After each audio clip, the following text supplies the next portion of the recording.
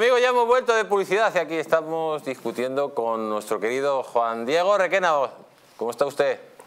Bueno, a pesar del gobierno, y si no entramos en detalle, en lo personal, como siempre, estoy estupendamente bien. Un poco cansado hoy, que madruga bastante, tenía que estar temprano en Madrid, pero bien.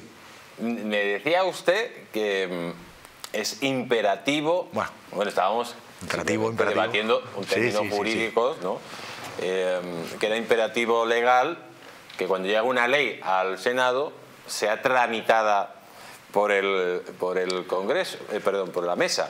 El, eh, claro, el reglamento de la mesa dice que admitirá o no admitirá los documentos que sean tramitados. Y, por ejemplo, hoy el Partido Socialista, que forma parte de la mesa del Congreso, ha votado en contra de la tramitación de la ley de amnistía.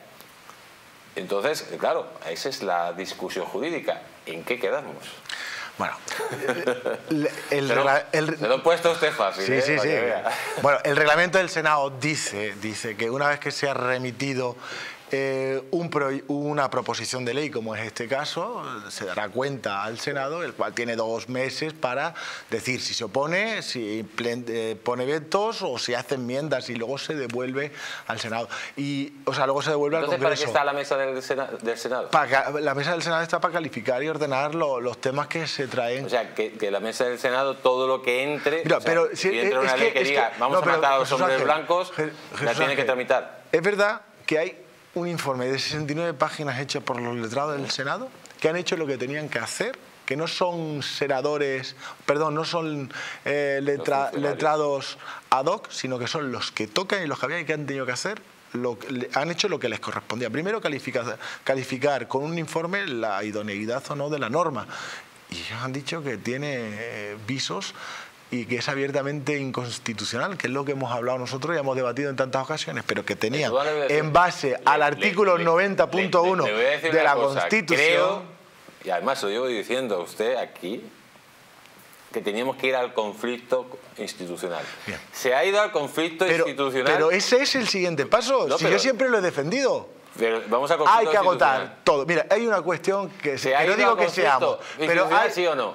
Hay una cuestión que se llama el filibusterismo parlamentario, que no es yo diga que haya una obstrucción, pero sí es cierto que el Partido Popular ha defendido siempre, siempre, siempre, incluso aquí, a veces ha cuestionado esa posición, de agotar todos los trámites, todos los recursos, utilizar todos los argumentos parlamentarios, legales, judiciales. ¿Pero está usted contento o no? que haya un informe que reconozca algo. que se haya ido al conflicto institucional, se haya ido a la guerra por fin con Sánchez, ¿no está contento? Y es una de las primeras batallas pues abiertamente. me gusta, que sea usted guerrero. Por porque supuesto, aquí somos guerreros. Pero no solamente eso. Mira, guerrero en el aspecto legislativo, en el aspecto de oposición, de control al gobierno y en el aspecto judicial, cuando tenga que llegar el momento y, y llegará, también hay que rendir, porque aquellos ilícitos que tienen consecuencias o pueden tener consecuencias penales o administrativas o civiles de las que sean y que este gobierno ya está acumulando demasiadas, tenemos que ir también a ese conflicto. Y responde a la máxima y termino. Tierra, mar y aire, hay que dar la batalla a este gobierno que cada día, cada día, a mí particularmente, me avergüenza más como ciudadano y como legislador y como político, ya ni te puedo contar, vamos, lo que me espanta, lo que estoy viendo. Pues prepárese usted porque prepárese para lo que viene, para lo que viene en estos instantes. Eh, atención, la trama Coldo continúa. La trama Coldo, que sería la trama Begoña Gómez, Pedro Sánchez, PSOE. Dice, la UNIT exigió a Europa el contrato con Aldama para cobrar los 180 millones de Venezuela. La agencia tributaria puso el foco a mediados de 2022 en el encargo que Air Europa giró al comisionista del caso Coldo para recuperar una deuda de 180 millones de euros de Venezuela. De hecho, la UNIF requirió a la compañía de los Hidalgo información sobre los detalles del contrato con Víctor de Aldama que se firmó apenas meses antes del. En el sumario del caso Coldo, al que ha tenido acceso eh, Voz Populi, desvela que la agencia tributaria se dirigió a Europa en dos ocasiones en 2022. La primera de ellas fue a principios de ese año en relación al contrato firmado con Soluciones de Gestión, empresa epicentro de la trama, para transportar las mascarillas a España en el peor momento de la pandemia. Sin embargo, la investigación que arrancó la Fiscalía Anticorrupción por las abultadas comisiones que esta trama se granjeó con los contratos COVID evidenció una nueva relación comercial de Europa con la comisionista de la red. Se trató de un acuerdo firmado en septiembre del 2019 para que de Aldama, quien alardeaba de sus contratos en el Ministerio de Transporte, mediara en la recuperación de la deuda. Pues ahí lo tenemos, amigos. Si es que es blanco y en botella. Si es que María Jesús Montero sabía, le llegaron todos los informes y lo tapó, lo echó para un lado. Y luego, para colmo, a los inspectores que les habían dado esos informes, los cogió y lo puso en otro lado. Señor Asís Tiberman, buenas noches, ¿cómo está usted? Muy buenas noches y estoy como se puede estar entre tanto disparate. Estamos ante, ante un contrato de Víctor Aldama que curiosamente eh, le contratan para cobrar una comisión de casi 200 millones de dólares con Venezuela. Viene Delsi a España y al poco tiempo eh, Air Europa recibe una cantidad similar a esa, a esa deuda, tan similar que es exactamente igual. Todo presuntamente indica de que eh, al Lama o Delsi traerían esas maletas el posible dinero. Pero claro, aquí al Lama lo que mucha gente habla de que puede ser el testaferro del señor Zapatero en todas estas negociaciones con Venezuela, con la deuda de Venezuela. Por cierto, que es que siempre sale Zapatero y siempre sale el comisionista y también sale de alguna forma la señora Begoña Gómez. Claro, Zapatero y Delsi son uña y carne quiero decir, mi, príncipe, como le llama Delsi a Zapatero. Perdonen la voz, que la tengo tomada. Eh, y eso es así. Lo que pasa es que lo que revela esta noticia, en mi, en mi opinión, no, no, solo, bueno, eso es lo que está diciendo usted, ¿no? que es que Zapatero, Delsi, Aldama son parte de una trama. Y el gobierno español, está claro que el gobierno español eh, interviene por medio de Aldama, pero interviene para que Air Europa pueda cobrar esa deuda que no le paga en su momento el gobierno venezolano. Y esto se hace de acuerdo con el gobierno venezolano, porque como se ha sabido también, es el propio, el propio, son los propios españoles los que invitan a Delsi a venir a España y no, y no al revés. ¿no?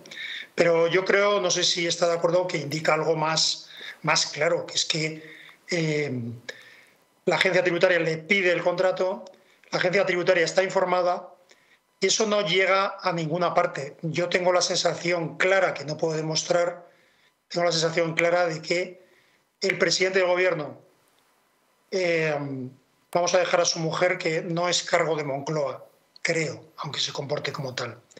El presidente del gobierno y la ministra de Hacienda conocen perfectamente las transacciones que se están realizando eh, las transacciones ilegales. La apariencia no solo es esa, la apariencia es que la mujer del presidente del gobierno tiene un papel muy, muy, muy relevante en esas transacciones, pero, en fin, por si acaso nos está escuchando alguien, prefiero no. Siempre digamos presuntamente, porque usted ha dicho algo muy importante, claro, em, en toda esta trama, Maduro no paga 200 millones a una empresa así como así, si, no, si primero no se te coge tajada y para que Maduro pague eso tiene que haber presuntamente una intermediación de este Moncloa por medio de esa agencia económica que presuntamente podía haber dirigido la señora Gómez y luego, claro, el títere de Aldama que todo indica que es el presunto testaferro. Ahí es una operación bastante hilada en ese sentido y se puede hacer el pago de 200 millones. Estamos hablando de una narcodictadura, que por cierto, claro, se llevaría también el señor Maduro su, comisión o su, su dinerito. En todo esto, claro, cuando vemos todo esto que huele fatal, que aquí no estamos eh, diciendo que lógicamente, y siempre ponemos el presunto por delante, porque todo el mundo tiene derecho a la presunción de inocencia, que pretendan tapar toda esta porquería con el tema de, Ayuso y desviar la, información, lo que demuestra es que están contra las cuerdas, ¿no? Y Sánchez ya está un poquito harto de todo lo que está saliendo de, Begoña, que es, en este momento, es el talón de Aquiles del sátrapa de Moncloa. Hay una, hay una orden dada por Moncloa que es que no se pronuncie el nombre de Begoña Gómez, por eso lo pronuncio yo muchas veces, que no se hable ni siquiera ante preguntas directas en, en el día de hoy ha pasado cosas curiosas. Ningún periodista ha podido preguntar sobre Begoña Gómez en la rueda de prensa del Consejo de Ministros y cada vez, y en las dos ocasiones que creo recordar que en Congreso y Senado se ha nombrado a Begoña Gómez por parte de la oposición, la respuesta de María Jesús eh, Montero, eh, eh, perdón, sí, Montero, y, de, y de Óscar Gómez, cuando se ha nombrado a Begoña, ha sido atacar salvaje e histéricamente a Ayuso, al novio de Ayuso, etcétera, etcétera.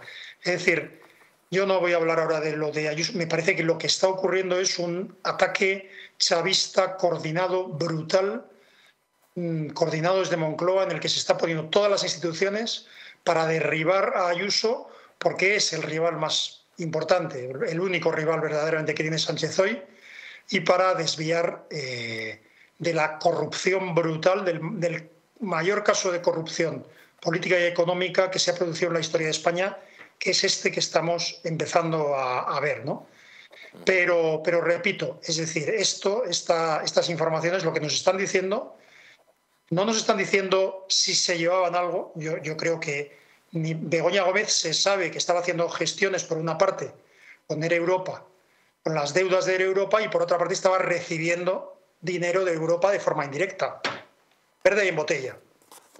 yo no, digo que sea causal, digo que es eh, simultánea. Es decir, eh, eso por un lado. Y por otro, yo creo que nadie hace todas estas gestiones, nadie, hace estas complicaciones por cantidades de más de 200 millones de dólares. Eh, nadie, lo, nadie hace esto gratis. Yo creo que aquí estamos asistiendo a un blanqueo de dinero inmenso y a una operación en la que, sea la que sea esa operación, la conocen perfectamente no solo Ábalos, sino el presidente del gobierno y la ministra de Hacienda.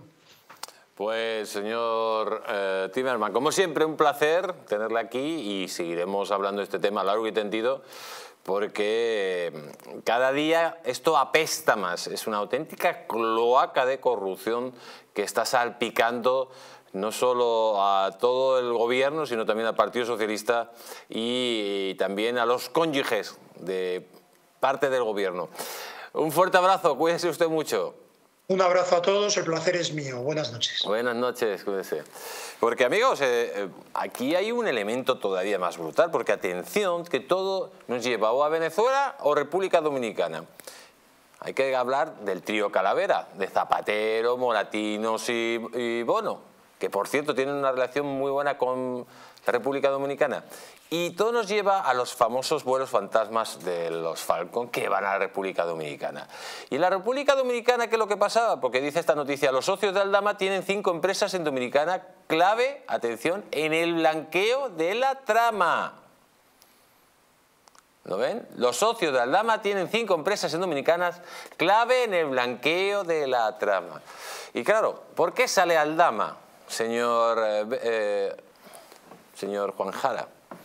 ¿Por qué Aldama es, digamos, ese cordón umbilical?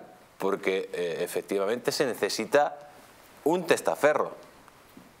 Hay determinados señores que tienen unos cargos tan importantes que no pueden hacer esas gestiones. Este testaferro pues tiene sus contactos en República Dominicana. Por cierto, todavía nos han dado las explicaciones de esos vuelos a República Dominicana, vuelos constantes, donde presuntamente en esas valijas diplomáticas pues podría ir el dinerito saqueado a todos los españoles cuando todo, todo el mundo estaba encerrado ilegalmente y se estaban muriendo miles y miles de españoles. Claro, así luego llega Sánchez y le preguntan por esto y dice Ayuso, Ayuso. Luego dirá Franco, Franco. Kennedy. Luego Kennedy, la ultraderecha. Reagan. Reagan. Y, luego ya dirá Viriato. Viriato, Pelayo. Pelayo. Bueno, no, es modificar, pero quizás eh, ampliar un poquito el foco sobre lo que decía el señor eh, Asís Timmerman. Y es que eh, Begoña Gómez no es miembro del Gobierno de España ni de la Administración General del Estado, pero sí es la cónyuge del presidente del Consejo de Ministros. Y hay una ley de altos cargos que regula exactamente lo que puede y lo que no puede hacer. De tal manera que lo que no puede hacer es que alguien te patrocine y después le, arreglo, le apaño negocios ¿eh? No hay un nexo causal demostrado, pero sí hay, efectivamente, fácticamente, a mí me, patrocina un evento o tres o cuatro y, a los tres meses le llegan mil millones de euros a Europa. Oiga, pues mire usted, no, no hay que, en fin, no hay que ser Sherlock Holmes para poder eh, establecer un nexo causal, teniendo en cuenta que esto no es un tribunal de justicia, sino un foro de opinión libre. ¿no? Pero en todo caso, los indicios son evidentes, están ahí, ya llegará el momento en que se investiguen.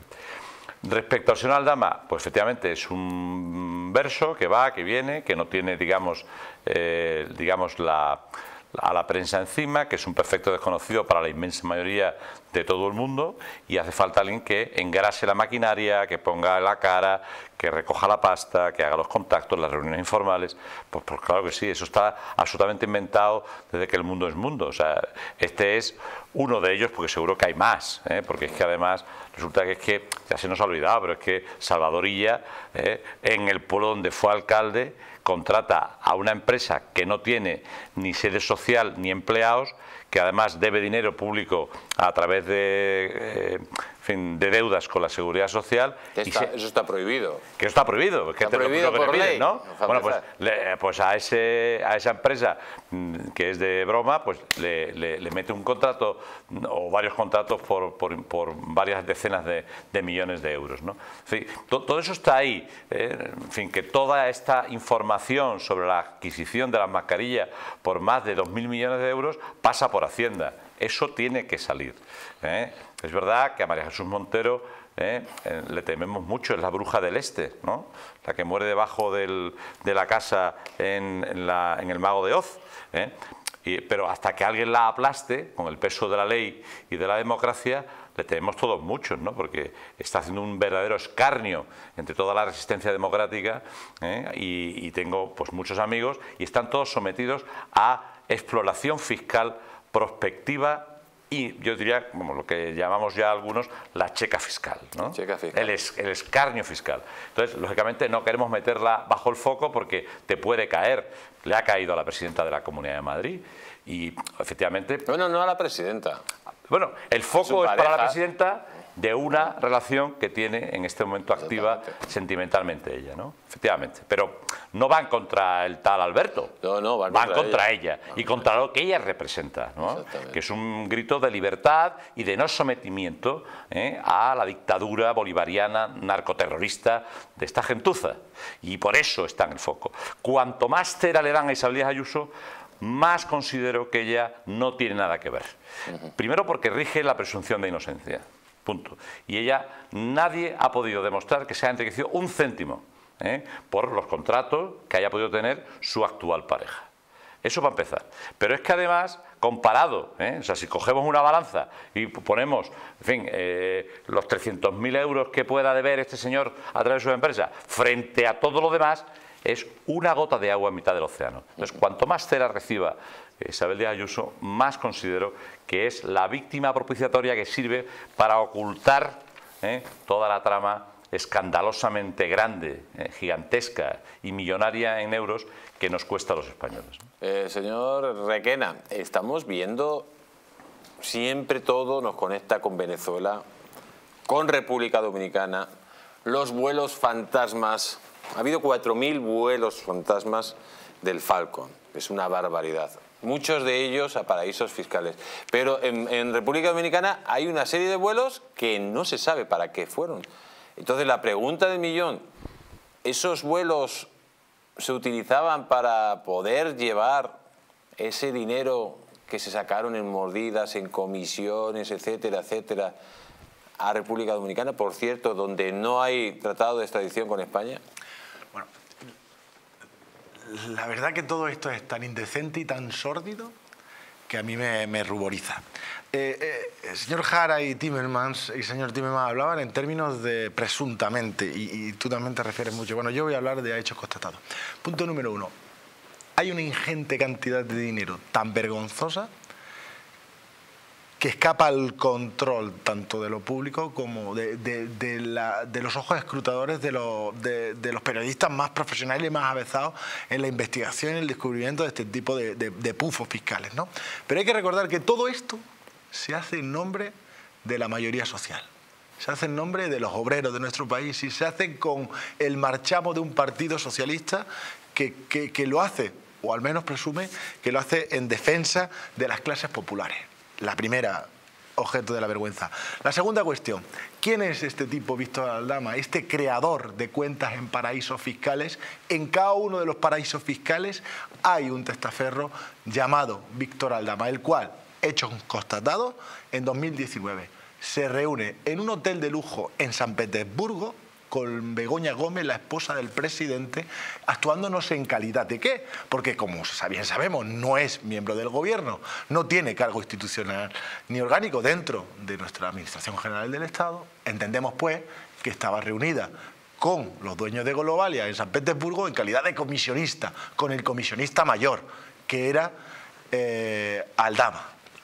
Primera, al poco el rescate o la apariencia de rescate de una de las empresas con deuda que tenía Globalia. En 2020, en Europa, unos días antes del rescate de 1.100 millones de euros a su empresa, acuerda un patrocinio ridículo, casi de 40.000 euros para Begoña Gómez, la esposa del presidente del gobierno, que actúa sin representación del gobierno, por tanto como comisionista al servicio de Globalia para un chiringuito que se llama Africa Center del Instituto de Empresa.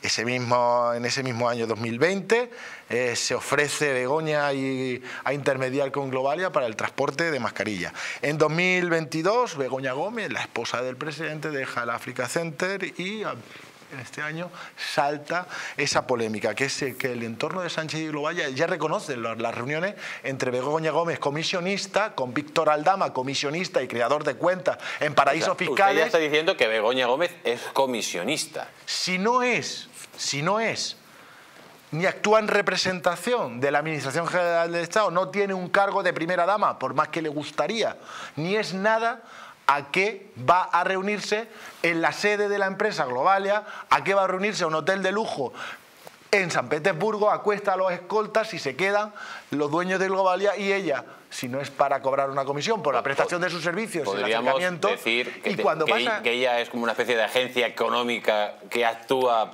como lobby para conseguir cosas presuntamente del gobierno de España? Hombre, esto? y la mediación económica y la contraprestación, al menos que la hayamos pillado, es la de el Africa Center. Por tanto, hay, una, hay un trasvase de dinero del ayudado con la ayudadora. Eso es una comisión, con el agravante de que lo hace de la mano del comisionista profesional Víctor Aldama, que crea cuentas en paraísos fiscales para ocultar a través de diferentes empresas pantalla, pasando desde Brasil, Santo Domingo, la, perdón, República Dominicana, hasta llegar a Luxemburgo. Hechos constatados y están en, la investigación que ha llegado a la UCO. Y cuando eso pasa, Sánchez entra en cólera y estiva el ventilador. Y el ventilador no es una cosa menor, es eh, revelar las conversaciones privadas entre un fiscal y el abogado defensor de un ciudadano anónimo particular. Revelar un secreto profesional. ¿No recuerda esto mucho a un insigne magistrado que perdió su condición de magistrado inhabilitado durante dos años por revelar o hacer escuchas ilegales entre el abogado defensor y sus clientes? ¿Y sabe qué decía la sentencia que el Tribunal Supremo eh, inhabilitaba a Baltasar Garzón? Que era una actitud dictatorial propia de regímenes eh, dictatoriales. Eso es lo que es esta trama. Esta trama con diferentes ramificaciones para vergüenza de los españoles sitúan al gobierno de España lleno de corruptos, de mangantes, de chorizo, de blanqueadores de dinero, de comisionistas y de las, las cosas más sórdidas que se pueden tener en nuestro país. Pues amigos, más claro el agua. Vamos a seguir porque atención a esta noticia que dice si se atreverá el Partido Popular a denunciar a Pedro Sánchez, a ver si lo ponen en pantalla, ante el Supremo por los negocios de su esposa Begoña Gómez. Porque eh, ya ha habido alguna denuncia de que puede haber un presunto delito de cohecho. Y eh, a Begoña Gómez, lógicamente, se está preparando una acción, una acción judicial de calado por un presunto delito de tráfico de influencias, más otros, más otros que luego iremos desvelando. Tenemos al otro lado de Sky a don Luis Losada. Buenas noches, don Luis, ¿cómo está usted? Hola Jesús, ¿qué tal? Muy buenas noches, encantado. Bueno, habéis hablado antes del ex juez Garzón y quiero recordar que el, juez el ex juez Garzón, que ahora es abogado, en su despacho lo vende, el argumento comercial que vende es que tiene estrechas relaciones con la Fiscalía Española. Hombre, tan estrechas como que comparte cama. Compartía cama con la anterior fiscal general del Estado. En fin, pues aquí pasa algo muy parecido. Resulta que esta señora, Begoña Gómez, vende que, eh, que es experta en adquisición de fondos. ¿De fondos de dónde? ¿De los que entrega su marido? Hombre, eh, un, un, poquito de pudor, ¿no? Yo creo que hay tantas evidencias y que además hay pruebas escritas, publicadas, de que ella se presenta como la mujer del primer ministro, como la mujer del presidente del gobierno, cuando viaja por África y por América, que me parece que hay unas, sospechas al menos de que efectivamente hay tráfico de influencias. Por eso el Partido Popular está trabajando para presentar una acción jurídica yo creo que la va a presentar, sobre todo después de que se ha producido el cerrojazo en la oficina de intereses. Un cerrojazo más chusco, porque quien lo ha comunicado ha sido la propia Ferraz, o sea que más chusco no puede ser. Y, y por lo tanto no va a dejar la presa y va a acudir a la vía judicial. Lo que tengo dudas es si va a ir a la Audiencia Nacional o al Tribunal Supremo. Voy a leerle la siguiente noticia. Dice que el régimen sanchista cada día es más parecido al de Maduro y Daniel Ortega. Se lanza contra Ayuso para salvar a Begoña Gómez. Eh, ¿Usted cree que van a poder salvar a Begoña Gómez por mucho, por mucho que intenten en los medios de la brunete mediática de las izquierdas eh, tapar este escándalo e intentar exaltar la señora Ayuso, el de, no de la señora Ayuso, sino el de la pareja de la señora Ayuso, que no tiene nada que ver. Mm. Yo, creo que van a hacer todo lo posible para que para proteger a Begoña Gómez, porque si afecta a Begoña Gómez y el juicio a Begoña Gómez sigue adelante, es evidente que el presidente está tocado, porque es evidente además que Begoña Gómez no actúa de solitario ni porque es una brillante profesional, actúa porque tiene unas estrechísimas relaciones con el presidente del gobierno exclusivamente por eso. Ese es su gran activo. Yo creo que de eso no hay ninguna duda. Claro, e, eso yo creo que el gobierno no se lo puede permitir y va a poner todas las trabas, va a poner todos los palos en las ruedas, va a meter toda la presión que pueda a la judicatura. Y aquí sí que estamos ante un choque de trenes institucional brutal, porque aunque es verdad que Begoña Gómez no está forada y no forma parte del gobierno, es la mujer del presidente. Y yo creo que si Begoña Gómez es imputada, ya sea en la audiencia o en el Tribunal Supremo, me parece que tiene una trascendencia política de primerísimo nivel. Por lo tanto, estamos hablando de caza mayor y, eso obviamente afectaría no solo al presidente, sino a la propia estabilidad del gobierno, que además se tiene que enfrentar a unas elecciones catalanas que le van a dejar tambaleando, a unas elecciones vascas que le van a dejar tambaleando y unas elecciones europeas que probablemente van a suponer un debacle y una noche de cuchillos largos. En fin, que el horizonte de los próximos meses para el Partido Socialista, o más bien para el Partido Sanchista, son absolutamente críticos. Y por eso creo que el Tribunal Supremo sí se va a atrever, porque está observando que hay cierta inestabilidad, debilidad y que, además lo que necesita España es un recambio, pero además con carácter de urgencia. Así que creo que el Partido Popular sí va a, va a presentar una acción jurídica y creo que la justicia sí se va a atrever esta vez con este tema. Porque, mm, en primer lugar, porque políticamente es necesario y en segundo lugar, porque, hombre, los indicios y las evidencias que están encima de la mesa y que estamos hablando, me parece que eh, eh, acreditan la necesidad, por lo menos, de investigar a fondo. Pues, Luis Osada, como siempre, un placer tenerle aquí en el Mundo al Rojo. Reciba un gran abrazo. Un abrazo. Cuídese mucho. Y efectivamente, amigos, eh, bueno, aquí tenemos eh, una acción, dice la noticia, esto es del Confidencial, eh, que dice que el Partido Popular, atención, prepara la vía judicial contra Sánchez por la relación de su mujer con Europa. Ahí lo dejamos. Yo como tengo aquí un diputado del Partido Popular, pues eh, vamos, la pregunta directa hacia usted, ¿se está preparando esta gran acción judicial para contra, digamos, contra Sánchez por la relación de su mujer con Europa?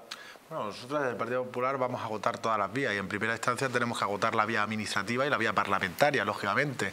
No solamente con esta eh, denuncia a la Oficina de Conflictos de Intereses, que, efectivamente eh, para nosotros desde nuestro punto de vista era, era, era, flagrante, pero ya sabíamos cuál iba a ser el resultado final.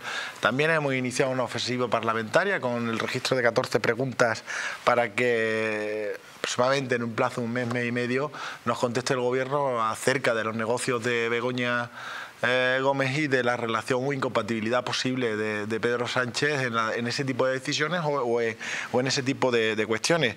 Pero, pero además de, de las ofensivas parlamentarias y administrativas, lógicamente iremos con todas y a por todas y cuando corresponda pasar al superado la, la primera instancia la, la ofensiva parlamentaria y administrativa, como he dicho, pues tocará lógicamente la, judicial, donde corresponda, no es el Tribunal Supremo, el Superior de Justicia.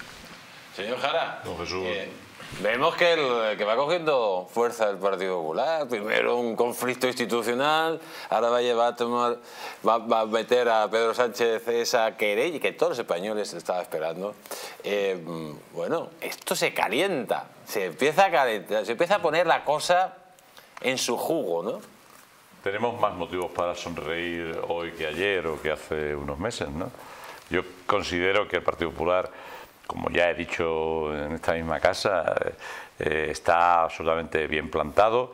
Le va mucho al pueblo español, pero también le va mucho al Partido Popular que gana las elecciones el 23 de julio y que merced a pactos espurios que venden a España por cuatro reales, ¿eh? con cuatro reales o por cuatro mil millones de, euros, lo, que, lo, que cuesta, porque lógicamente España es muy rica, ¿eh?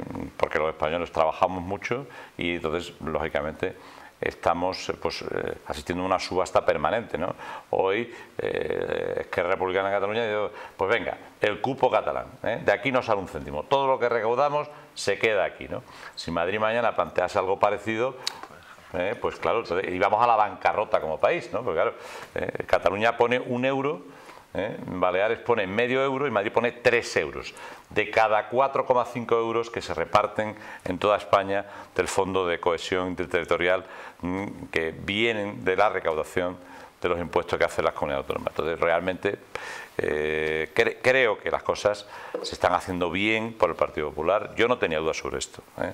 Otra cosa es que después, pues yo alguna vez en redes sociales le he afeado al Partido Popular pues esa tentación de seguir hablando del Consejo General del Poder Judicial. No se habla más nada con esta gente, hombre. Todo lo que no sea es asumo los cargos, me confieso, ¿eh? reo de cárcel ¿eh? y me, da usted a, Soto del Real.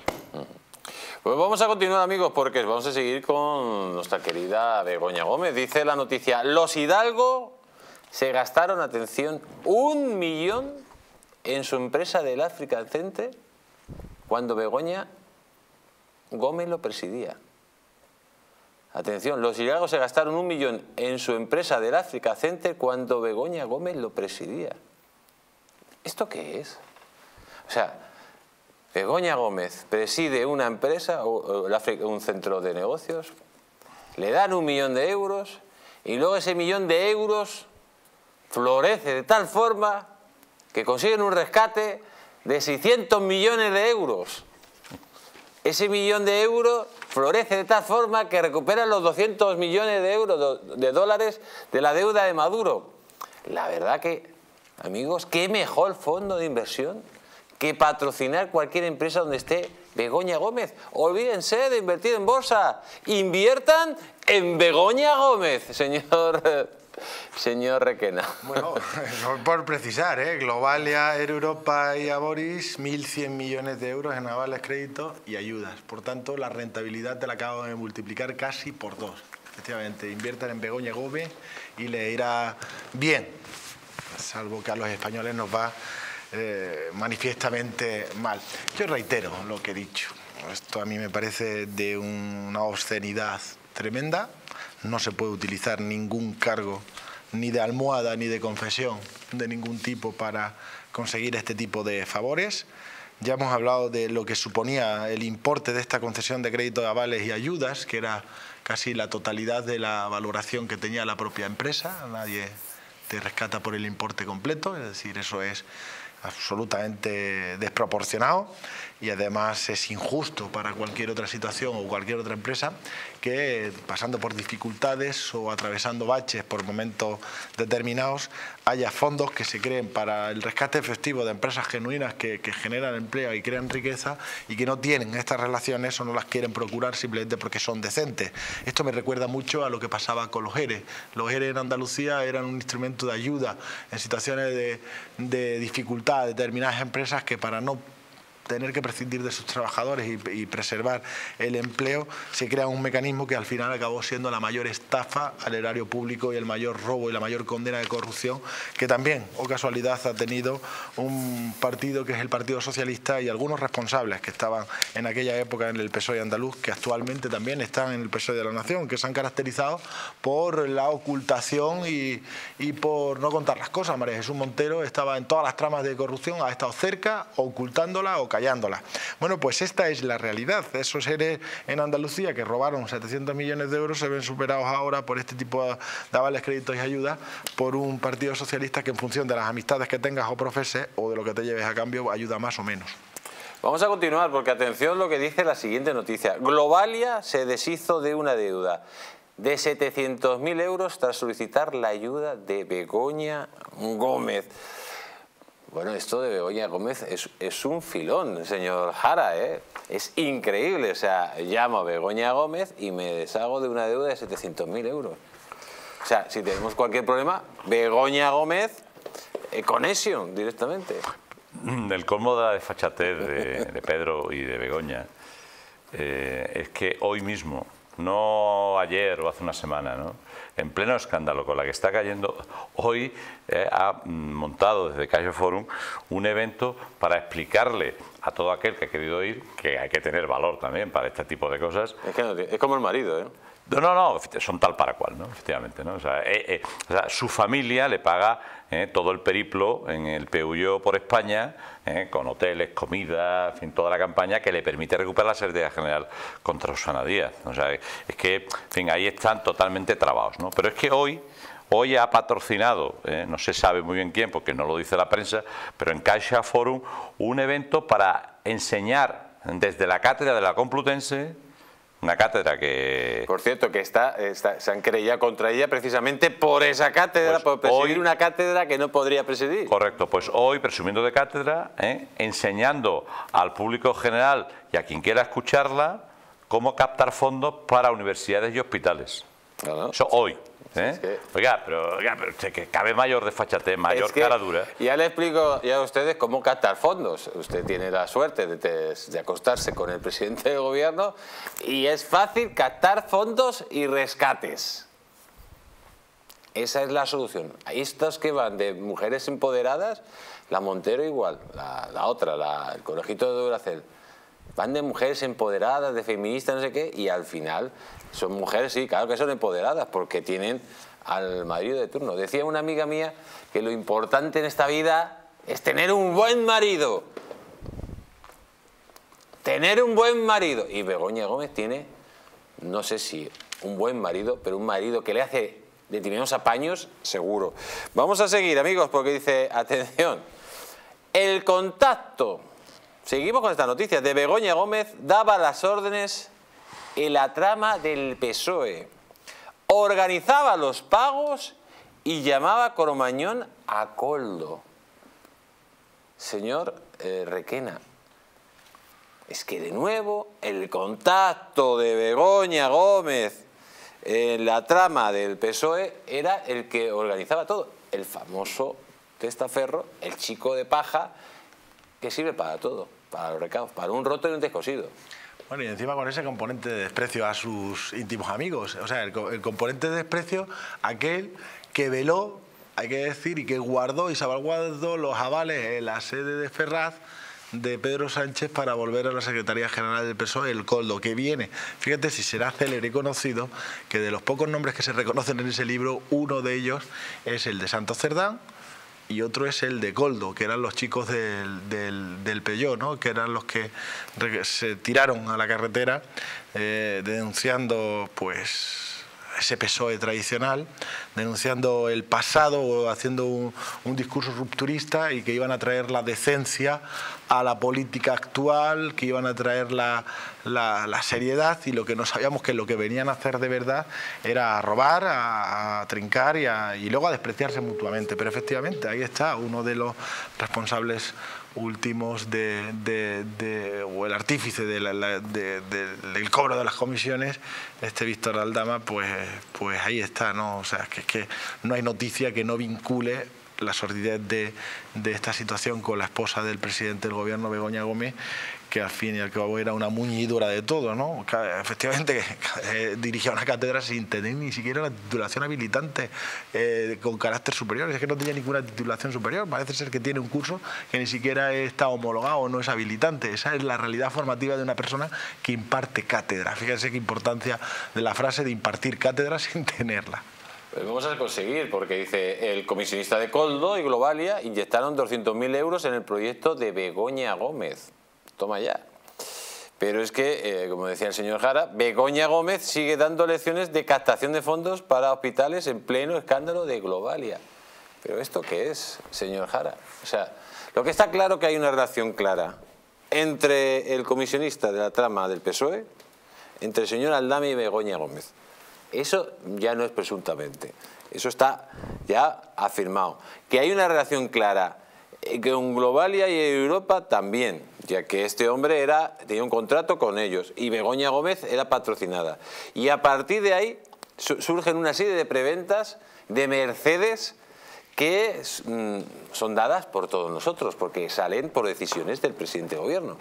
O sea, sé que Begoña Gómez estaría o podría estar haciendo tráfico de influencias siempre con el dinero de los pobres ciudadanos españoles que eh, no llegan a final de mes. Esta es la que habla del gobierno del pueblo, ¿no? Sí, hay una diferencia enorme entre vivir el comunismo y vivir del comunismo. ¿no? Eh, eh, vivir del comunismo pues implica vivir a todo trapo, con bolsos de Prada y, cenas en lugares oprobiosos. ¿no? Mm, mi tocayo, don Juan, el diputado Requena y yo, que somos los dos andaluces, sabemos lo que el PSOE supone para eh, la parte más bonita de España, que es mm, Andalucía. Es robo, extorsión, pobreza, paro, miseria, corrupción, pobreza, miseria, paro, corrupción. Ni más ni menos, 38 años de, de, de, PRI-PSOE, ¿eh?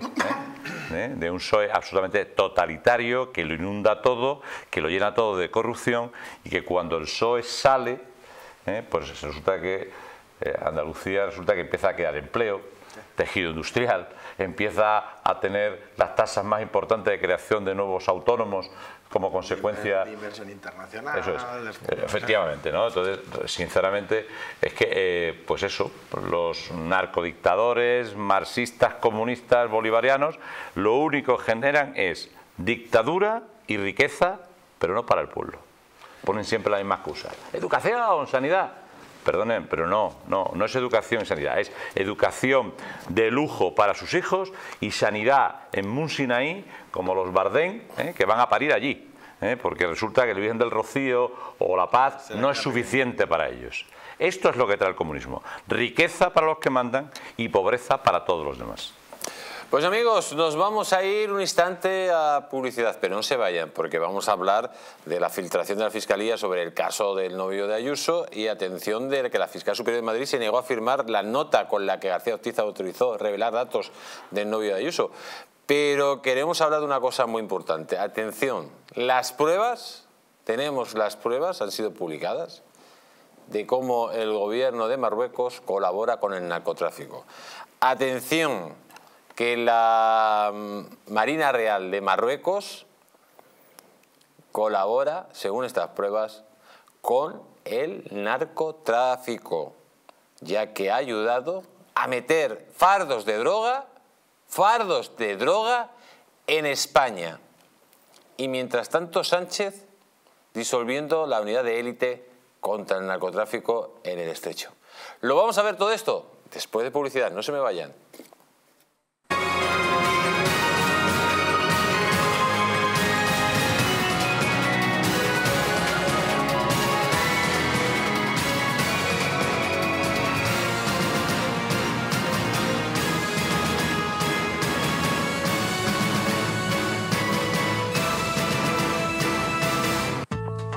La presencia del colágeno en la composición de huesos, piel, ligamentos, cartílagos y tendones es imprescindible para frenar su deterioro.